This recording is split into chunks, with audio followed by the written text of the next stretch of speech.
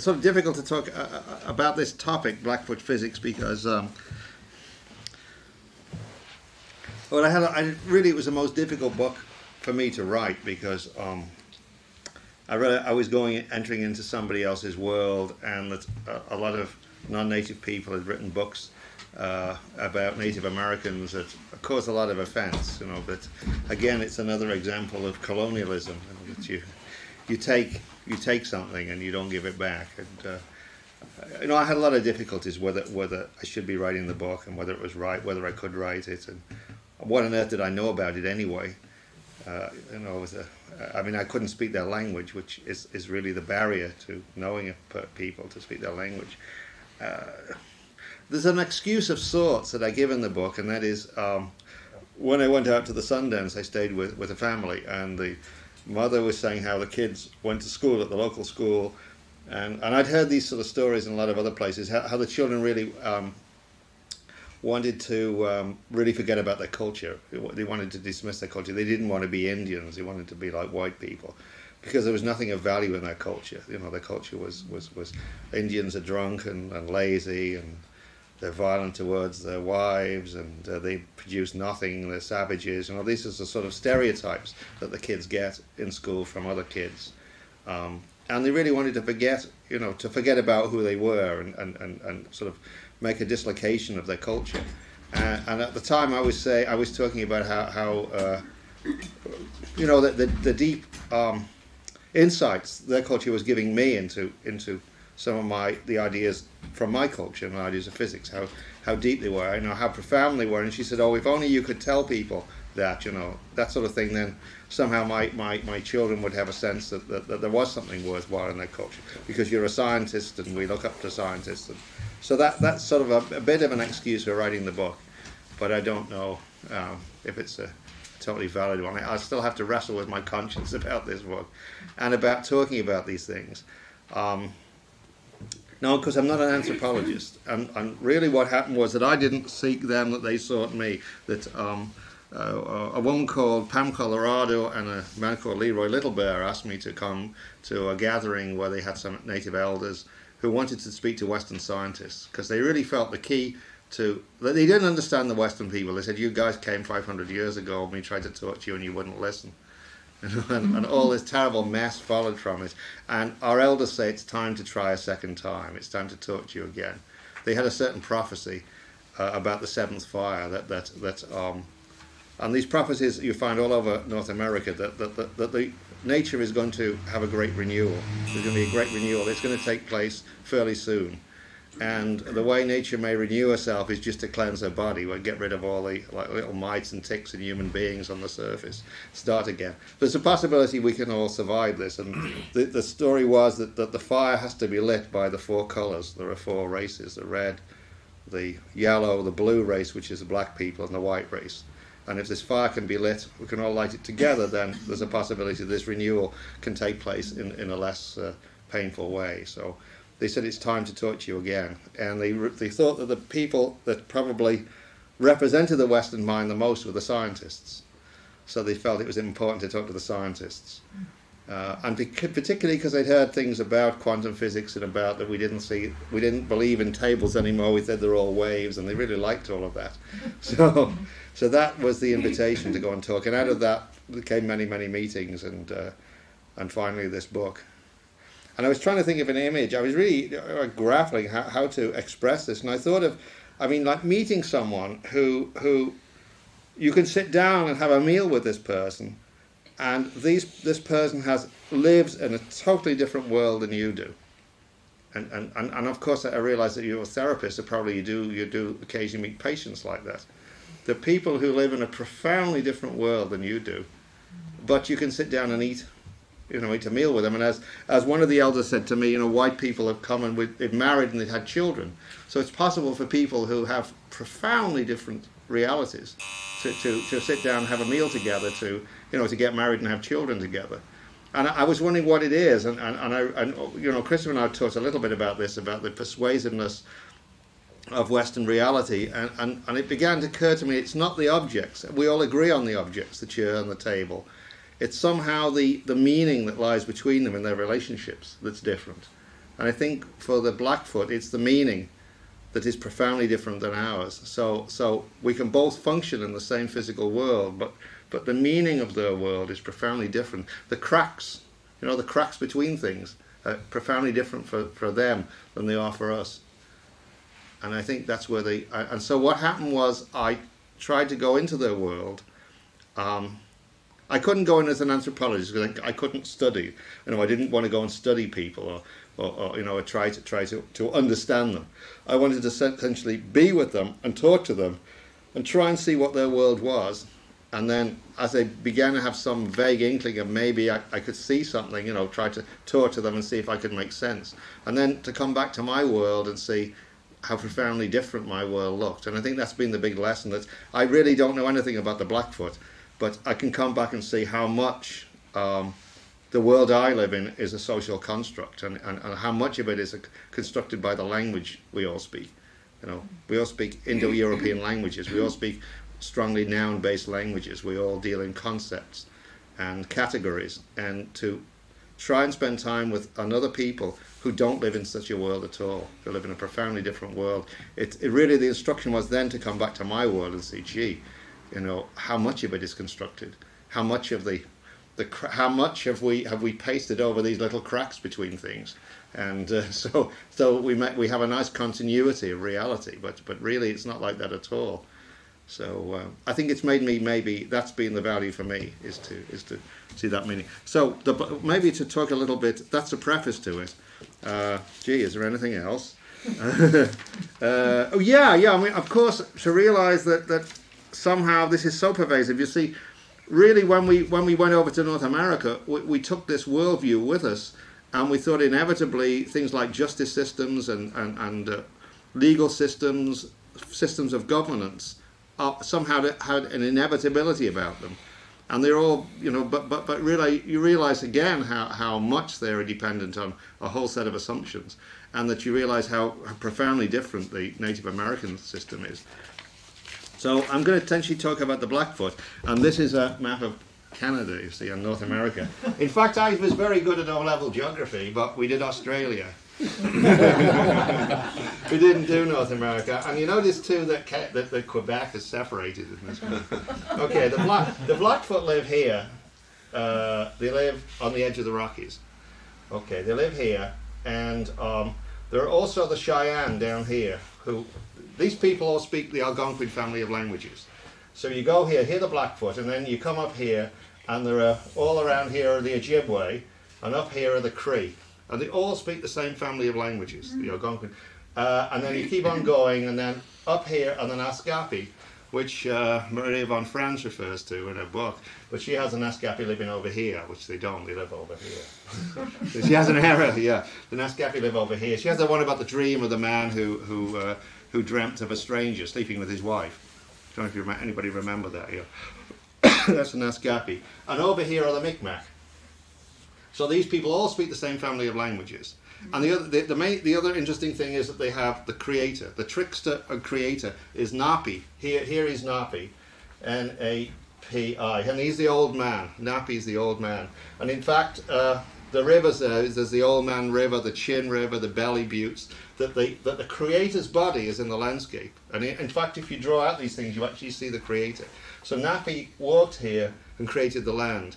Then he moved up here and he became Nanabush for the Ojibwe and created the Ojibwe's land. And he moved up here and became finally Nanabozo for the, for the, um, for the Naskapi. So this is an enormous journey of 3,000 miles. The creator moved through all of this and created the land and the people. And there are these wonderful uh, stories of uh, Napi stories, or Nanabush or Nanabozo stories. Um, and they're really about the way the land was created and also the creation of consciousness. So, you know, if anybody gets hold of it, there's a book called like Blackfoot Lodge stories, but there are many books. Do you realize it's in a sense a creation of, of, of, of the consciousness of the society, the evolution of consciousness from, from its very embryo uh, in, into, into sort of differentiation? There are, are really remarkable stories. Uh, and it's interesting that, that he is the creator of everything, yet in a sense, uh, the world already exists when he comes along. So it's a strange sort of creation. He created everything, but the world's already there. Sometimes he's said to have given things names. And Napi's also the trickster. And uh, I mean, this is he is the creator. He is the original uh, origin of all. And also, this creation seems to be still going on because things have to constantly be renewed. You see, the, the thing with, with, with, with, with the Blackfoot is that everything is flux, the world is flux. There are no objects, there's nothing constant, and, and everything has to be renewed. And in the distant past, the ancestors made compacts with the powers and energies of the universe, which enable us to live in harmony, and these have to be renewed through sacrifice and ritual. But Napi's are created, but then there are these stories you see about the creator which are so nice because there's a, a Napi story where Napi's this old, old man and he sees this beautiful young woman who's got incredible breasts. And he thinks, oh, these are so fantastic breasts. I really got to get have a go with these. So he becomes a sm- small baby, you see, and the woman sees him, picks him, takes him in the tent, and, and so the Napi lies on the on, on, on the one's breast, starts to suck the breast, and he gets so turned on he forgets about his transformation. He becomes an old man again. and she screams, and all the young men come into the tent and beat him up and throw him out of the village. So it's nice that you have a story of the creator, where the creator is also the fool and the trickster. So so many of these stories tell you about boundaries. They're telling you about boundaries, where to draw the boundary, where things are. Um, how far can consciousness move? What what is its flexibility? what can we do? What about identity? A lot of stories about identity. Everything's always transforming in the stories, like people do. You see, I mean, when you're born, you have a certain, you have a name, and then you later on given another name. So your identity is constantly in a state of transformation. Nothing's constant. It's not like not like our world. But anyway, those are the, those are Napi stories. And remember that, that, that it's a story also of the land. The land is Napi's body. And the Blackfoot always say you have respect. You walk with bare feet because you're walking on the mother's flesh when you walk on the land. So there, there are many stories like that.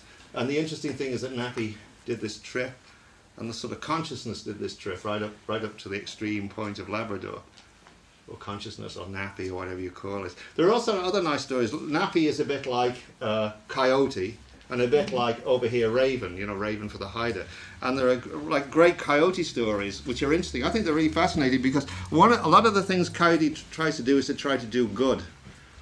There are a lot of stories about trying to do good, and, and, and sometimes coyote sees creation on the first day and, and feels that really. Um, I couldn't make, you know, it's, it's sad here that the river's running downhill. Why can't it run uphill as well? So maybe I'll make the river run uphill. Maybe these ducks that are on the river, maybe they'd like to walk on the land instead. Maybe the fish would like to climb trees. So he tries to do the very best thing and help all creation. And of course, when he's finished it and he sits back, he's made a terrible mess of everything. Nothing works. So there are many stories about the trickster the idea of the trickster trying there's many stories about trying to do good and trying to improve things and trying to help things and how disastrous it is ever to dream of doing that. And uh, that is a, a feature that you hear many stories. I mean uh, the, remember the laughter there because the next story is about um, a woman who phones the rcmp and say my son's going to hang himself. He's hanging himself on the tree outside.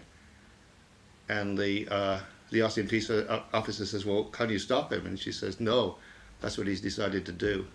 So the son hanged himself. But she just told him this is what happened. So, so this is another story I was told about a man uh, who was a, um, a fishing guide, and his son was learning to be a guide. And uh, they had a very expensive boat with people in it, and the son was going very fast towards some rocks. And uh, the father sat in the back, didn't say anything, and the the white man thought, why does the father not say anything? You know, why doesn't he want his son? And at the last minute, the son saw the rocks, but the father would never have intervened, never would have told the son. The son had to learn. Had to, so, so those are things that were very difficult for us to maybe comprehend. We, we would tend to think of like helping people, of um, guiding people, of giving them benefit of our wisdom. But this is very, very different. And there's so many stories like the one of the suicide, so many stories where uh, a person seems to be heading towards disaster, and uh, other people will say, you know, we can't intervene. If they asked, if someone came and asked for help, even asking for help would be so difficult. Uh, I mean, the stories you hear, stories about. Uh, I had a friend who was a, um, an RCMP officer, and he was trying to reform the, the legal system to make it more in accord. Uh, so he would ask the elders, "What would you do in this position?" And the elder would tell a completely irrelevant story. And it took him about two years to realize that you can't ask those sort of questions. You have to somehow learn what it is you have to do. but you can't be asking for help and you can't be asking for guidance. So it's a very different, it's a very different world.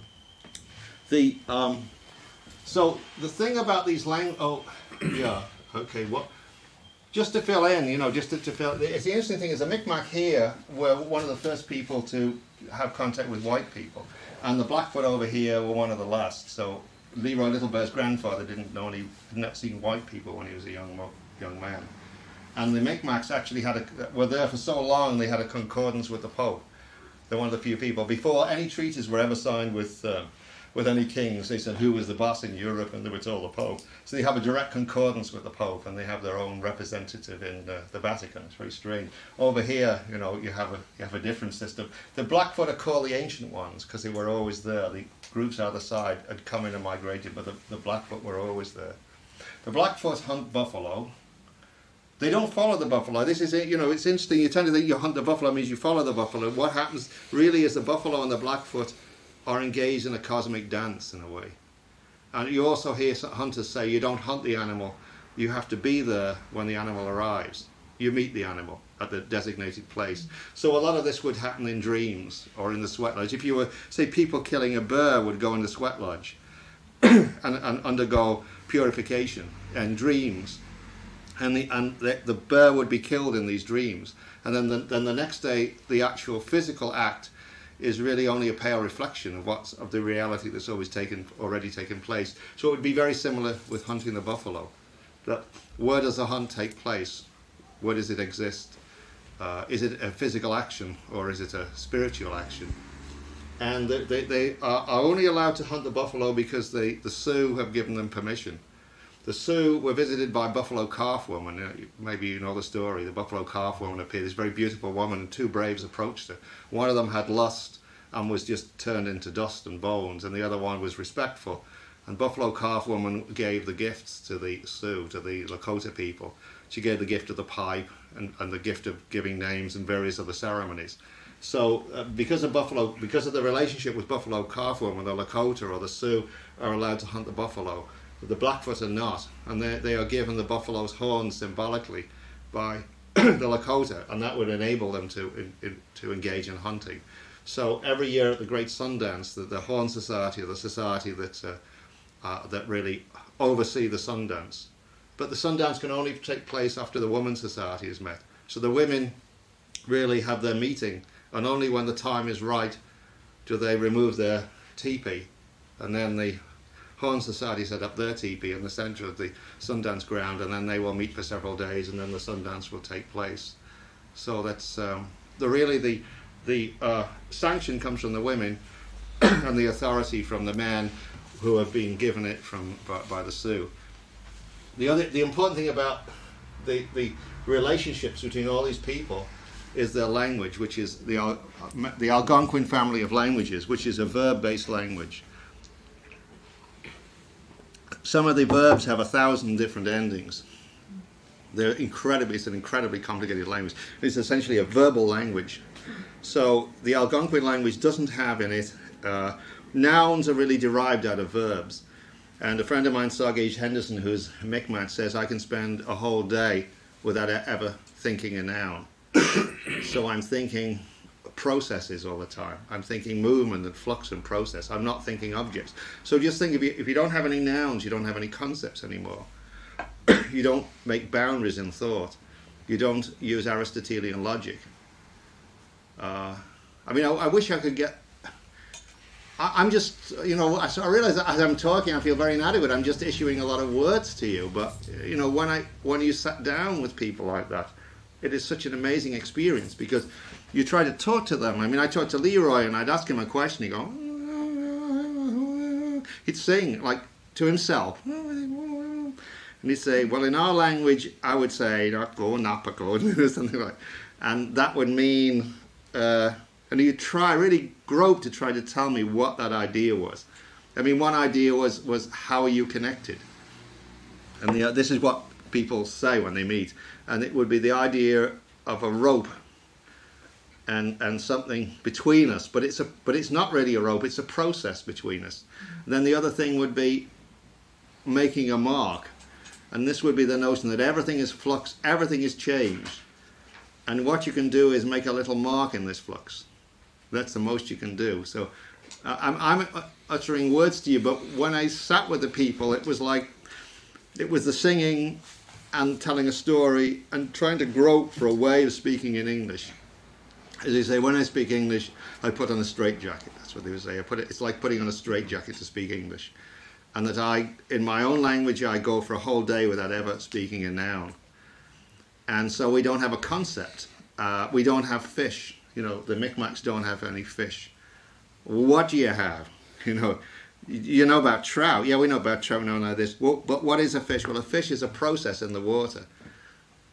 And what about trees? Well, how do you name trees? Well, it's the sound the wind makes in the fall as it goes through the leaves. That the leaves are starting to dry and, and there's a certain sound made. And this tree has that sound, that tree has this sound. And somebody actually asked them, what about after acid rain? Have the sound of the have the name of the trees changed because of acid rain and they say well we must ask our elders about that. You know, that's interesting. Maybe they have. And it's the salt wind coming off the sea going through the trees. So so, so there is no concept of tree. There's no concept of bone. Uh, you know if you say well what is that? It, you say well that's a part of an animal. But there's no concept there's no generic concept of bone or fish or trees. So i mean try it would be interesting to try and think to try and think what it would be like to live in a world in which you don't create concepts, in which objects are not primary. I mean, when you have this bone and you ask them what does a bone mean, they say, well, this I carry this with me because this connects me with the animal, or re- rather, it connects me with the keeper of the animal, the keepers of the animal, and I have these feathers because they connect me. Uh, and then when you press and press and press, I mean, your answer you get is very like Bohm's implicate order. It's very close. I don't know if people know Bohm's implicate order, but but the answer you get if really pressed would be a very close one to this, that contained within. Can you say? Can you Well. Bohm, Bohm, David Bohm said that really, essentially, uh, the physics, you know, Newtonian physics dealt with, with an explicate order world, what he called an explicate order world, a world of chairs and tables and objects. And our language deals with nouns and, and concepts. It deals with an explicate sort of external surface order. But below that, there's, there's what's called an implicate order. He postulated, or enfolded order, and where where everything is contained within everything else, in a sense. Uh, so what they would say is really within this bone is contained is contained all, all, all the animals, and and within this bone, I ha- if I have this bone, I'm somehow in contact with the keeper of the animals. so that would be the way. And when you would press them, how is it? It would be very close to what Bohm says was the implicate order. And the nice thing was, just before he died, a few months before he died, Bohm did meet with this group of people, with the Blackfoot, and we talked about these. So when I say it's like David Bohm's, as much as David Bohm went into it, it was a very similar answer to the way he saw it. And he his dream had always been, Bohm's uh, notion had been that we've entered this world of quantum theory, in which um, the distinction between observer and observed is gone, in which objects dissolve into processes, and we need a new language. And, Bohm had developed what he called the rheomode. And as he sat with the Algonquin people, and they explained to him that our language was created by the ancestors for uh, making alliances with the spirits and energies of the world. This is, and our language, if you ask what our science is or our philosophy is, it is our language. The language contains everything, it's all within the language that, that the greatest creation or the greatest work of art is the language itself. And when pressed, you know, that he realized the language was very close to the vision he had had of, of a rheomode, of a language which would express quantum reality. So it's very curious that this group of people um, who lived a very harmonious, uh, gentle life, you know, uh, did have a language which is very, very close to the one that seems the way, if we wanted to penetrate into the meaning of the quantum world, we'd, we'd have to have this sort of a, a process based language. So for them, the, the, the world is very much like uh, Whitehead's process and reality or Heraclitus. It's a world of flux and change, and the language expresses that flux. And so, what can you do in the flux is, is if you live in flux, uh, also, what is the world? Well, well, all of this really this explicate order is, is a very tiny fragment of what of what reality is. Reality really is is the powers and energies that animate, and they can be, you know, you can see them in dreams. But remember that the dreams aren't necessarily individual, personal things. The dreams are, you know, usually collective. it's not unusual for people to sit and one person say, I had this dream, and another one will amplify on it with his dream. That the dreams seem to be, be shared dream, particularly when going hunting. Um, that the, the dreams will be to get taken together.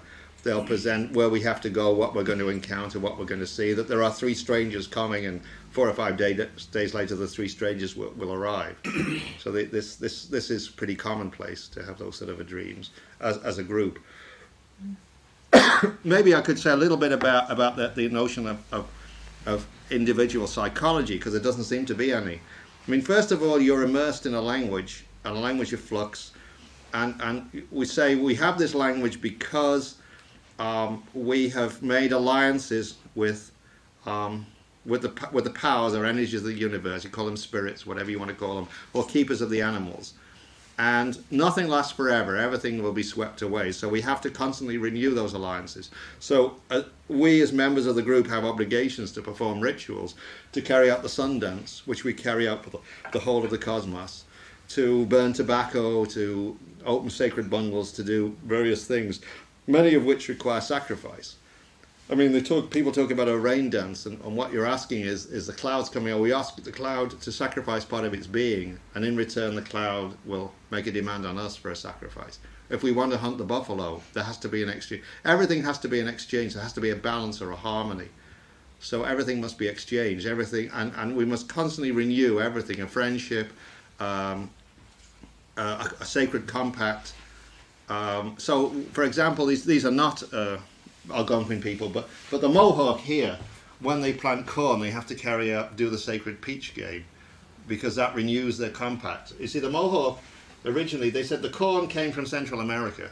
This is an amazing, you know, there's an amazing thing that corn and rice and wheat all came around about the same time. These three grasses mutated in different parts of the world around about the same time. And the corn came here because of compacts people had with nature, with the corn god we made alliances with the corn god, and the corn was given to us. And uh, one of the people who took the corn up here were the were the Mohawk, the Iroquois people. And so they made the journey through the Ohio Valley where you see these big mounds. And everywhere they came, they stopped so they could introduce the corn to all the other plants.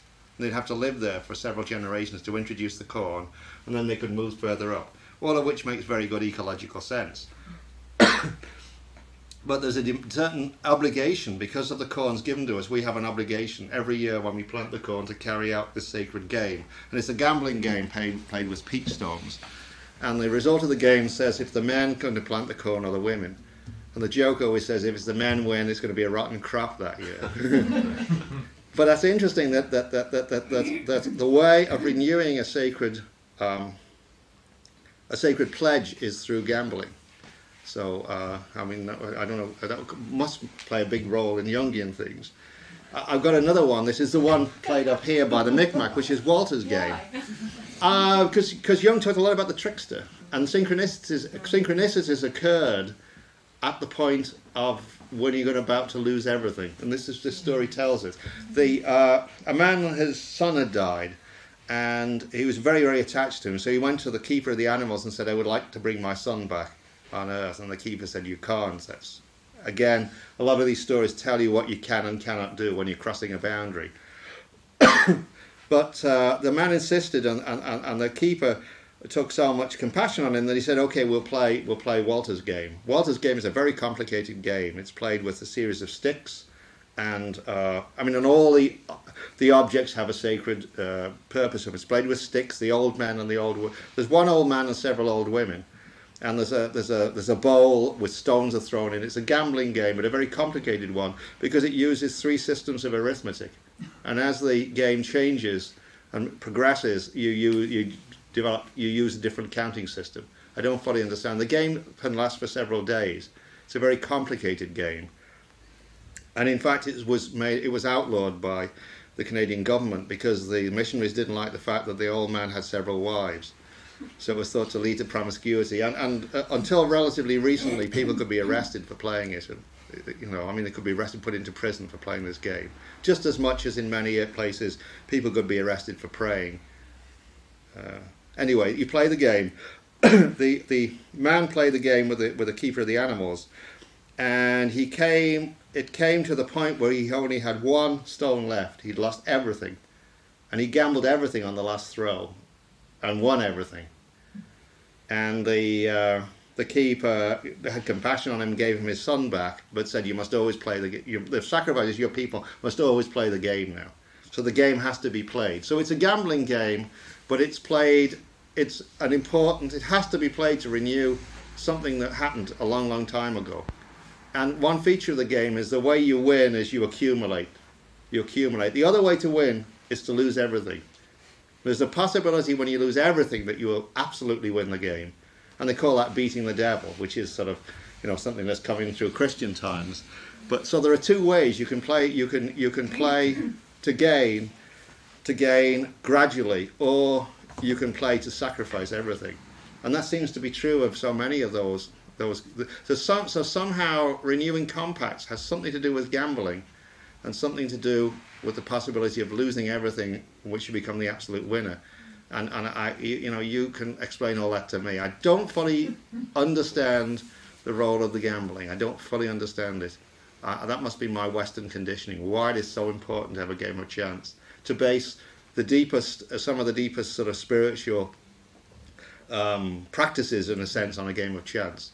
Or I mean, your whole life uh, is the core planting of the corn. That that should be have to be determined by a game of chance. Isn't it the same attitude as the father at the back of the boat that's heading for the, the rapids? It's it's just letting things take their Maybe it course. is. Maybe it's it's it's, a, it's, a, it's, allow, it's allowing the flux to operate. It's allowing the flux to operate. They yeah. don't see it as chance. Uh, I don't know what this this it's it's maybe it's allowing it's allowing nature to yeah. Because the other thing they, talk about it is is that time time is of course is a cycle. Time's cyclical.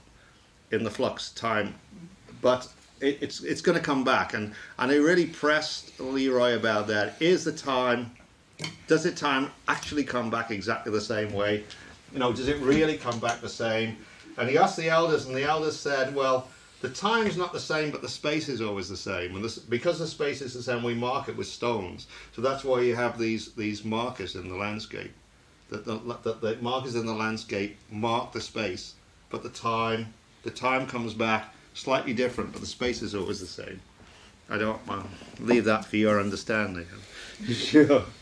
Um, Is there a connection with the potlatch of the Uh, uh, sort of of, the- of the Haida over that end. Indians, yeah, I don't. You accumulate everything, then you give it you all give it away. all and you away, yeah, nothing. and you become the most wealthy person is the one who's given away the most. That's right. Yeah, It's, it's a, it's about like yeah, it is it is like that. But I mean, I don't know of anything in the Blackfoot nature of, of, of like a potlatch. It doesn't seem to be anything, you know, in the sense of giving things away. I guess it's a different society. Uh, it's a hunting society, and and the, and the the, the, the Haida are more they live in houses and the I mean the potlatch they collect copper and things. So I guess it's very much determined by the society. I think. I want to say a little bit about uh, uh, individual psychology and, and, and bring that from a story here near the coast, which is not Algonquin people. It's the story of one of the people that live near there. Okay, there's um, a man who lives in this group, and he um, he doesn't get on with them. He wants to leave. He wants to be an individual. He wants to be separate. So after a lot of argument, he leaves with his horses and his wives and goes off. The first night, the Braves come back and they take his wives away. And the man continues on. And then the second day, they come and take all his horses. And he continues walking. And then the third day, they take all his clothes. And he continues walking. And then the next day, they cut off his arms. And he continues going. And then, like in the Monty Python, you know, the, when you had the Holy Grail, and he cut off his legs. Uh, which, uh, when I first saw it, I thought, gee, that sounds a bit of a bloodthirsty story. But what you realise the story tells you is, is that the more the person abstracts himself from the group, the less of him exists. And another thing they will say that the, the you know, Blackfoot will say, you know, what is the most, do you punish people? Well, no, we don't, you know, and all the rest of it. Well, in the most severe thing, the most serious punishment is banishment. Because if you're banished, you've lost your language. You have to go amongst people who you don't know their language. And you're not talking about going to France, you know, you're talking about going to China. You're talking about leaving this Algonquin family, which is like, this would be equivalent to, you, you know, European languages. They're as, as different as, you know, French and, and, and, and well, English and, and Spanish, for example. You know, they're different. So you're talking but but it's all part of the family. We we can get we could go to Spain, we can go to France, we can get on, but but we're not talking about going to. Uh, you know, going to North Africa and speaking Arabic language or, or, or, speaking Chinese, to be banished from the Blackfoot into one of these other groups means essentially that you become a child again. You have to live. So the concept is, but banishment means you become like a baby. You learn a new language, and obviously you, the language you taught wasn't sufficient for you. It, it didn't bring about that transformation. So you have to leave the group and become a baby and learn a new language. So banishment is the most serious uh, punishment there ever could be, and it's also a, a reforming notion that the idea is by learning a new language, you begin again, and you almost like the slate's wiped clean. The language is the consciousness. So by learning a new language, you develop a new consciousness, and you become a different person. Um, so the idea then is, is that there isn't such a thing so much as an individual. Um, and the legal system reflects that. I mean, they were really uh, very uh, puzzled by the idea of when a lot of this uh, discussion on land claims and self government came up. They're very, very puzzled by the idea of individual rights. They asked, well, what are rights? And they were told the English answer of a famous jurist is the rights of the fence you erect around yourself to protect yourself from others. And for the Blackfoot, I mean, how could you ever live without living with other people? Uh, why would you ever want a fence around yourself? And in fact, the Blackfoot don't have any rights. You, you know, you have obligations. You have ways of working within the society, uh, which are determined by the society itself. My friend Leroy uh, is a lawyer, and he was told by the elders essentially that you know we we see the time when we're going to have to need our own lawyers. We can't rely on the white people. You've got to go and be trained to be a lawyer. And so he said that meant he had to separate himself from the group that he wasn't allowed to attend the ceremonies anymore. He went to Utah, went to law school, and now he's back uh, and he teaches at the university. And he says he was like the equivalent was the people in the ceremonies he used to, when the sacred ceremonies were, there were always some men on horses that were riding around and protecting the area. So, so they were never allowed to attend the ceremony because they had to work on the periphery. So it's as if the society has said that is your role and you must accept it. Uh, which is very different from ours, where you where, we would see, well, what is it you know I really want to do? What do I want to become? You know, I want to I want to have uh, some sort of self development. There, the the role seems to be upon working within the group and what does the group expect from you, or how do you express yourself? So some people in the group would be there are people like contraries, people who would dress backwards and ride the horse backwards and do everything backwards, you know, wash themselves with earth, and and these fulfill a function and there's a famous story when a treaty was written, one of the chiefs put on his clothes backwards and walked backwards into the tent to show that, I mean, not saying, he didn't argue that this was a bad treaty or that this is going to set us back. He, that's, he just dressed and, and acted that way, which is maybe more powerful than, than a sort of intellectual argument. There are also men who behave like women and adopt women's roles. And amongst the Blackfoot, they're considered to be having a special sacred function. So uh, it's almost as, as if within the society there are certain roles that people have to adopt or have to play out. Then the other role, I suppose, there's no, I don't know of any shamans in, in, in, in, in the Blackfoot. And it's a funny thing because uh, like a lot of people want to talk about shamans. And this seemed to be the one thing that no Native American liked, the idea of a shaman.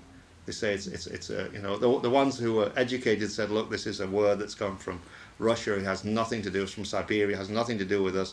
It's not part of our culture. We don't have shamans. The only thing I ever heard of a shaman was I had a friend who was uh, Inuit and an Eskimo, and his grandfather was the oldest living Eskimo in eastern Canada. And he said, My grandfather's a healer. He explained my grandfather can heal, but he's not a shaman. And if something was so serious that the shaman was needed, the shaman would appear. But, you know, the shaman isn't a guy who, who sort of sits in a house with the word shaman on the front. And the shaman really is feared in many cases. And, and you, you do hear that in the Ojibwe. You see, the Ojibwe do have a secret society called the Midewiwin Society, where there are degrees. It's a bit like the Masons, you know are certain degrees you have four sky four earth degrees and four sky degrees. And i do know a man who is at the top of the earth degrees and is going into the sky degrees. So the ojibwe they're about the only native american group that do have a secret society and do practice a sort of magic. Uh, but they're, they're viewed with great trepidation. I mean because the, because the great healer does have uh, you know, very frightening powers in many ways. I think another characteristic is this idea of the, you know, if we talk about the shaman, which they don't, is the idea of the wounded healer. That does seem to be quite uh, quite common. The people, I mean, Handsome Lake of the of the Mohawks uh, went into a deep coma for several days, and when he came out, he he he said that man had come. He was lying in the bed, and men had come to the door and told him to go and take him on this great journey. And when he came back, he said, "You must." Um, uh, sacrifice a white dog and eat the, eat a white dog. This is a white dog feast. And then for many, many days, he proclaimed the teachings, the Handsome Lake's teachings, which are still practiced today by many of the Mohawk. And, and uh, people, these are passed on, and it takes about a week for someone to recite the Handsome Lake teachings.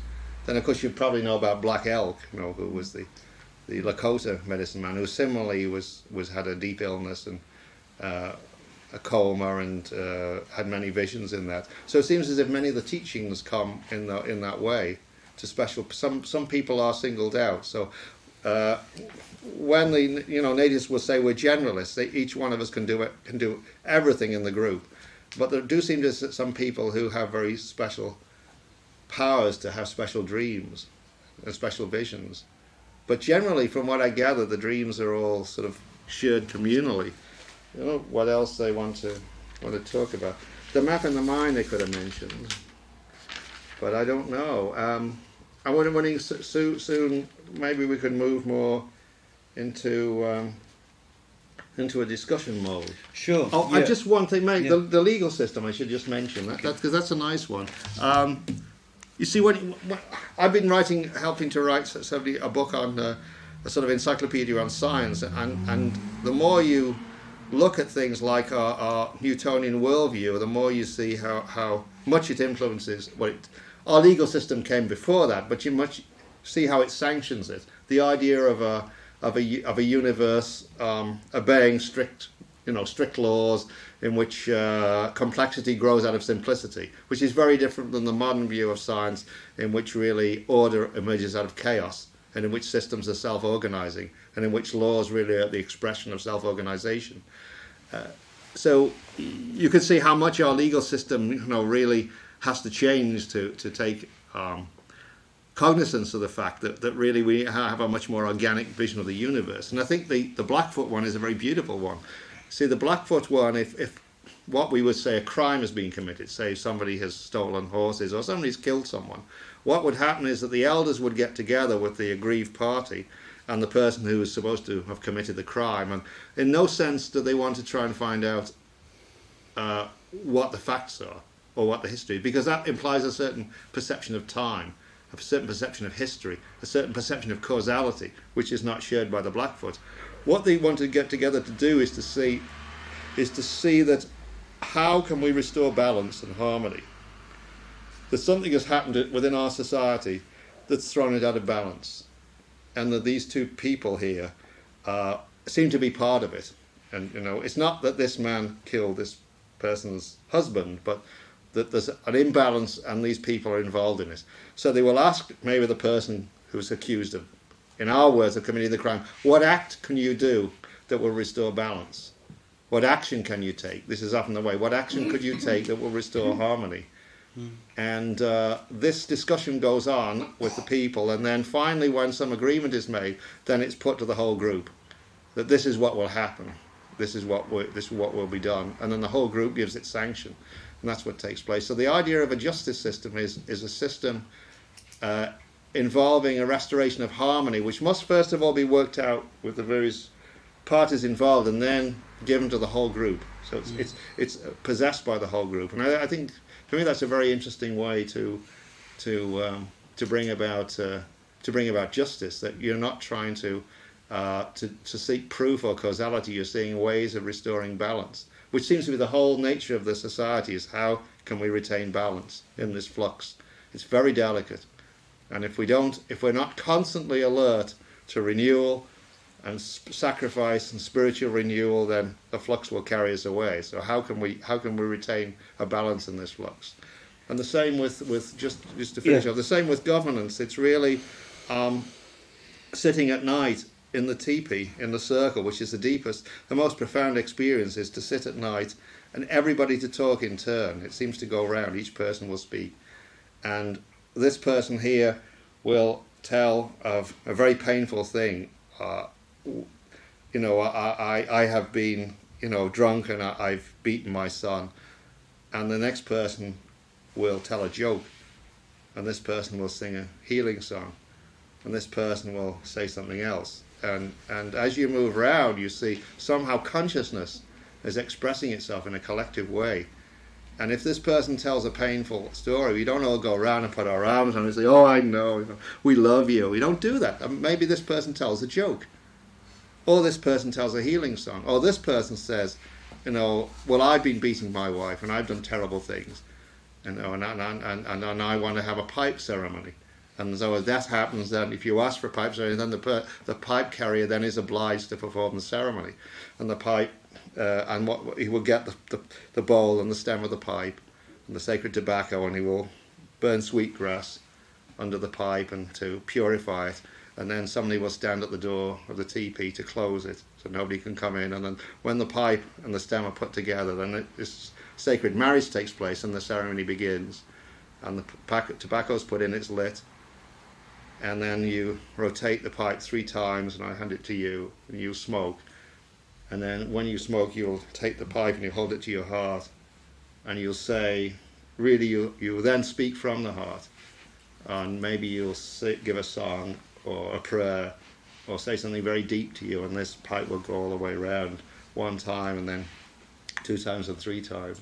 And the last thing I did was. Uh, before I left Canada, well, it wasn't the last, but the last meeting I had, we we did this, and then for three days, and the third day, uh, it came around four times, and the fourth time the feather was passed around. And when it came to me, was, I was asked to retain the feather, and that when you travel, to take it with you as protection, which was uh, a very unexpected thing, which was in some sense a sanction to talk about these things, a little bit of a sanction to Yeah. talk about them. Yeah. Well, thank you very much, David. We are going to pass round our um, our customary several glasses of wine amongst us all now, and we'll start our discussion again. I've got such a list of things, Oh, and I'm okay. sure everyone has in their heads that they want to ask uh, David to amplify.